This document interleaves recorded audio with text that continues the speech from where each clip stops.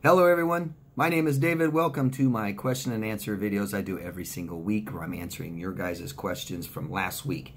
Any anybody here have questions, please go down in the comment section, just down there. Ask me anything you want and I'll answer it next week. I do it every single Monday. Um, I want to welcome new people here. Hello everyone, thank you for joining us today. Um, if you think I'm doing something beneficial, if I'm helped you in some way and you think I can help somebody else, can you please support me by subscribing to my channel, voting, thumbs up or thumbs down, tell me why, say hi, tell us your locations, tell us where you're from, ask questions, share this video in places, suggest it to people, and you can put it in a playlist of your own on your own channel. Really help you, really, really would help me help other people. Thank you very, very much. Um, all I ask if you ask questions, just please tell us all where you're from. You can be general, okay? Thank you. Um, I would like to thank three people who have made donations to this channel. Amazing. Thank you so much. I don't get donations uh, very often, but man, three this week from Edith, Emily, and Joey. Thank you. Thank you very much, all three of you, so much. I can't even, it, it, and it doesn't really matter how much, too. It's just, um, it's an amazing gesture to give your hard-earned money, you know? Thank yous are amazing too. They're awesome. But when someone gives you money, it's just really, really nice. Thank you, all three of you, very, very much, and everybody who's ever made any kind of donations to this channel. I really appreciate all of you. Thank you so much. Um, I like to make a suggestion every week. I suggest maybe an author in their books or someone else's channel or um, supplements or different things I think that can help people heal from trauma. That's kind of what I do is I'm, I'm trying to assist people through their journey from uh, with healing from different traumas. This week, I really like this one. It's something I've been thinking about recently, and I can't tell you enough how much me having good posture has helped me in my life. I've had, uh, of all the bad things I've, I've done in my life and, and failed at and all that, I've always had really good posture, and I've been through um, a couple of bad car accidents. I fell off a building once. I've really hurt my back, my neck, my hips, my shoulders, my knee. I've just killed my body. I've really, my body's gone through a lot. But I've always kept really good posture, and that has helped me have better health, um, uh, sleep better, um, and I think just really also respect. I, you just get more respect when you have better posture big time. And you can see, and, and a lot of us that have suffered from traumas, depression, always follows, stuff like this, sadness, low self-esteem. And you can see, in some of you, and, and you can see it around people kind of just get bad posture. And I've had lots of clients who have had this problem, ongoing problem for much of their lives, and part of their journey in healing is starting to get better posture. So I want to recommend something very simple $24.99, $24.99 US on Amazon is a posture corrector for men and women. Both adjustable upper back brace for clavicle to support neck, back, and shoulder. Um, it's just a, a, piece of material that just kind of wraps around here, and it looks like you can wear it under your clothing, and possibly no one would even know. Uh, definitely in the winter, no one would know. But whatever. I mean, you you could wear this working out, sleeping, all this stuff. So it, I just think it's a great idea. Um, anybody interested in this, go down below into the description box, and I'll put a link for this to Amazon. And like I said, it's this is the their best seller right now. Uh, $24.99 with an extra coupon for $2 and free shipping. Not bad. So that's that if you're interested. Um, I wrote down here, for better posture. Oh, you know what? Here, I'll read their little spiel. Where is it? Let our posture corrector be part of your healthier life. Our posture corrector helps you regain proper posture, which can help to prevent the onset of back, neck, and shoulder pain. Our posture corrector helps provide alignment, and it, it then that goes down more than that. Hips, knees, every it affects everything. Um, helps provide alignment while sitting, standing, lying down, or during your other daily activities. Proper posture is important for all ages and is essential for living a productive life. Good posture is very sexy. Regain your confidence. They're trying to throw you the sexy thing out there. I think some of you could care less about that right now, right? Um, but, right, it, it does look better when someone has better posture. but it's healthier. It's healthier. It's healthier. And I think it will help self esteem, confidence, things like this, big time, okay? We kind of walk it, we kind of, you know, fake it till we make it, walk the walk, and then hopefully we'll talk the talk.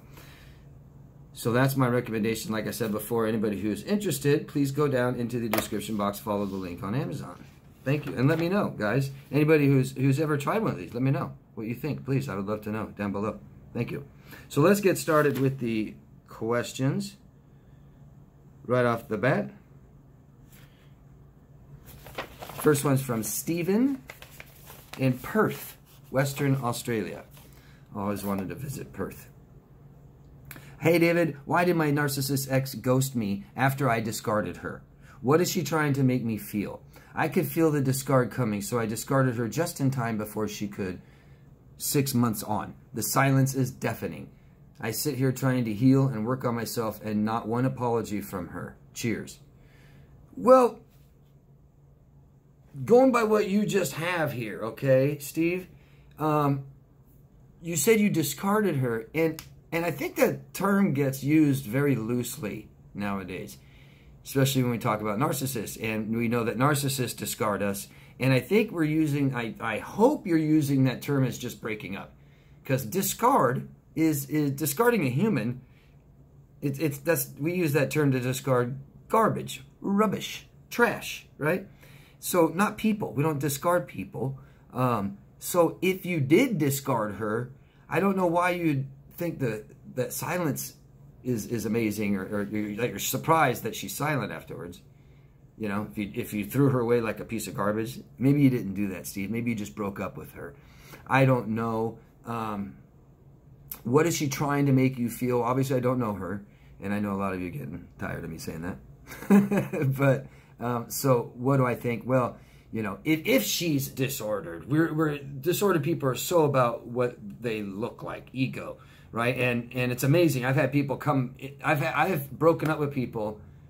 I've broken up with girls, and they've come back in my life just to break up with me and go away. Just like, oh, okay.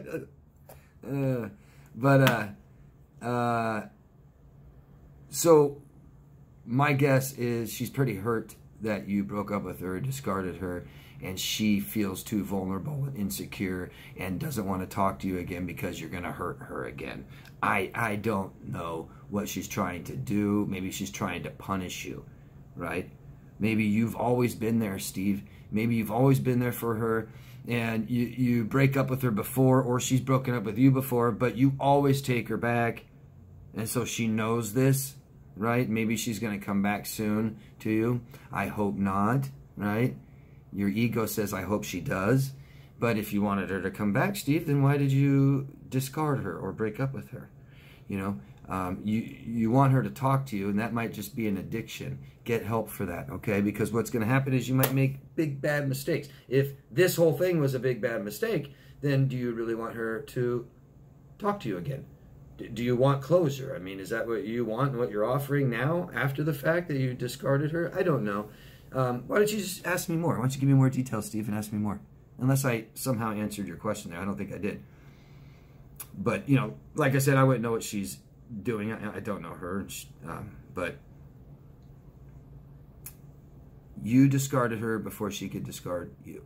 And that sounds like abandonment. And that might be fear of abandonment that you have, Steve. Maybe, I don't know. Maybe she does. She has fear of abandonment. And you just triggered her hardcore. Um, I, I, I just wouldn't know. I wouldn't know. But why don't you ask me more questions? Okay? Thanks, Steve, very much. Next question is from Tina in California. Hello, Tina. when I was discarded, I was given several neutral reasons by the narc. None of these items would make any normal person even slightly angry. I was sitting there with my mouth open, trying to figure out how these things could even be construed negatively. Is this common? Has anyone else experienced this? Well, I mean, I think so. What I think you're asking, if I'm wrong, Tina, uh, ask me again. And anybody out there, if I miss your question, ask me again. It wasn't on purpose. If I misunderstand it, ask me again. If you misunderstand me or something, keep asking. I don't mind repetitive questions. Ask questions, questions, questions. We need to ask to heal. We need to learn. so, something to know about personality disorders is that they're very rigid, no flexible flexibility. Okay, so they have, and they don't tell the truth, and they're not very in touch with who they are to even be able to be very accurate with what they want, how they feel, and stuff like this. So who knows how he really feels? Who knows? It sounds like he just found a reason to break up with you, Tina. Or he's so hypersensitive to every little thing you do, right? He can't handle relationships. That's another problem with personality disorders. I don't know. But of course, this is common, Tina. They're so critical. When look, it sounds like there's a problem with the relationship, especially if he's disordered. There's a problem, Tina, and and both of you are most likely being neglected, and there might be abuse. Okay, so he knows there's probably something wrong. What this sounds like to me is him him being hypercritical, right? Is what you're trying to say? Very very critical of things that don't seem like such a big deal. So it sounds like he's coming up with a reason to leave you for someone else, right? Or he's his fear of abandonment completely kicked in, and and no, narcissists could have this, borderlines could have this, sociopaths, psychopaths, total fear of abandonment, and they will abandon you first and they may understand that their fears aren't legitimate, and so he makes up some. I don't know. I hope that helps, Tina. Please let me know if it does. Please keep asking, okay? I can't. And anybody else want to um, tap into this and and give your your answer, what you think for Tina in California? Um, she wants to know if it's common that they start coming up with massive reasons to to leave you, but they're like not a big deal. Like you you turn pages too fast, and you turn you know you you have, you have a little whistle when you talk sometimes, and you're drunk, and you're I don't know, dude, but uh, for one thing. If he has a personality disorder, he's not happy with who he is inside. So he's never satisfied, never happy, never legitimately comfortable, right? So there's going to be problems all the time. And the closer you get to them, the more problems there are. The longer it goes, the more problems there's bound to be. Hope that makes sense. Sorry, Tina, but keep keep asking me questions, okay? Thank you. Michelle from New York. Hello, Michelle. Hi, David. Can you or someone on here tell me or drop a obvious hint on who the person is from another channel that is... Oh, I didn't want to read this. I didn't want to read this. I, I not not against you, Michelle, but I'm not trying to talk about this person. Michelle's asking about the person who's been smearing me for three years and has tens and tens and tens and tens and tens of videos out there obsessively making up all kinds of lies. there. I'm not going to say who it is. That's the difference between me and that narcissist that's doing it. Um, but thank you for being concerned. It's not hard to find it's somebody in this community, right, that has videos attacking people. That's it. attacking people, making accusations, making up stories, massive stories that they somehow know everyone in their personal life and they're all coming to them and telling them all this stuff about people, me and many other people. So I'm not really too worried about it that much. like, yeah. And you watch a few minutes of them and you can tell that she is wacko. except some of the handful of sick people that watch her. Okay, Audrey from Ohio. Hello, Audrey. Hi, David. Maybe a thought more than a question. I remember being told so many times, I'm not playing your effing games anymore. This was inevitably said at some point during my ignoring his calls and pulling away. For those who want to see the best in others, don't you think this is a clear sign that the one saying this is likely the one playing the games?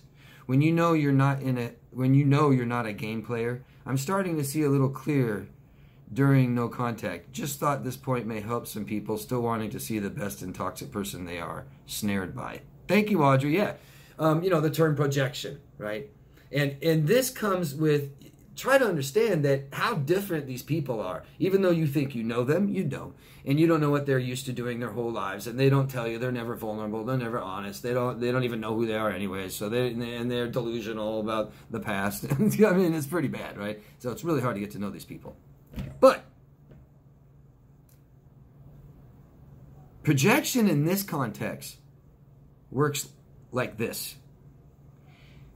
If I cheat my whole life, and that's, you know, I'm fine with cheating, then I think people are betraying me because that's the playing field I'm on.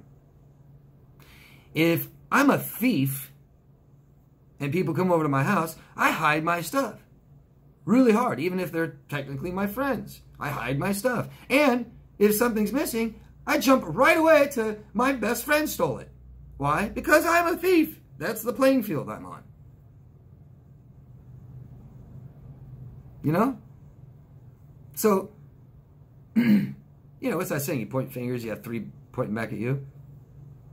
I, I, I am so honest that I'll have repairmen, you know, not not to hate on repairmen, but never met you before, don't know you, and they come over to my house to fix something and leave, and I'll notice I just left a stack of cash sitting right on the countertop. I left a piece of jewelry or just something out in the open. Damn. I'll be like, damn. but I don't think about it. It's not my first thing. You know, that's why um, I tend to believe what people are telling me kind of first. And then I have to wait and go, wait, wait, wait, maybe this isn't true. You know? But liars and manipulators, they're always like, hmm, you're lying. Uh-uh, uh-uh, bullshit. That's not true. Oh, yeah, you're probably just faking the other. You know, that's just the way it is. I mean, I hope I, I made my point, Audrey, right? I do. And, and I, I have a saying that I've said for years now. If you don't know you're in a game, you lose. So it's not so neat that the narcissist is such a good manip manipulator, like they're so proud of. Nobody else is manipulating. So of course you're the best at it. Great, you're good at it. You've done it your whole life. That's great. Nobody else values manipulating. Yeah, you, no, really though. You've met narcissists. You guys probably all know one, or a sociopath, something that just loves that they can manipulate. They they're so good at it. It's like, yeah, dude, you're the only one doing it. And, and that's not how the world works. So we lose. Thank you, Audrey. I kind of went off there. Um, Phil, uh, I don't know where you're from. Please leave us your locations, everybody. Thank you. Uh, Phil asked, what happened to your old videos? I think your previous channel was called something like My Narcissist Ex-Girlfriend. I really enjoyed those videos, especially your personal story in the first 25 or so. I could really relate and resonate with those videos, and I watched them several times. If I knew you were going to take them down, I would have downloaded them. Are they still up somewhere? If not, would you please get put them back up? Oh, and where's Danny Dog? I haven't seen her in a while. Is she okay? Um, yeah. Uh, thank you for asking, Phil. Danny is fabulous. Um, I don't have her here right here, so I'll have her make an appearance in part two, right in the beginning. I'll show you guys her. I like that you asked too. Um, that's nice, yeah. But I just showed her not too long ago, um, and she's great. But um, okay, so my old channel was yes called something like that, and yes, I had 20. My first 25 videos were my relationship I had toxic, toxic 10 year relationship that that that brought all this about for me. And I took them, I, I just privatized them. They still exist. I might load them up again sometime. I don't know. I took them away because of that stalker that's been harassing me and exploiting every little detail she can find about my personal life. And so I took them down until the stalker's done, which they will be soon. Um, so maybe, maybe I can just make another video and talk about my my life. Maybe if you guys want to know that, um, I don't mind I just like making all this more about you guys and not me. But if you guys want to hear my story or my life or something, I can tell it in several minutes, 10 minutes, maybe maybe in a Q&A. Not this one, don't have time for this one. I don't know. Why don't you guys give me feedback and if there's, you know, a few of you, several of you, enough of you that want me to do that, I'll do that. Just tell me. Thanks, Phil. I appreciate you asking. And I'll show Danny, Danny Dog, in part two. Thanks. And I'm going to stop part one here. And part two will be on in a few minutes. If you guys could please support me in any way, just activity, okay? Views, voting, commenting, sharing, posting, playlist. Thank you so much. Um, anybody who wants coaching, daviddemars.com. Thank you. Love yourself first. See you in part two. Bye bye.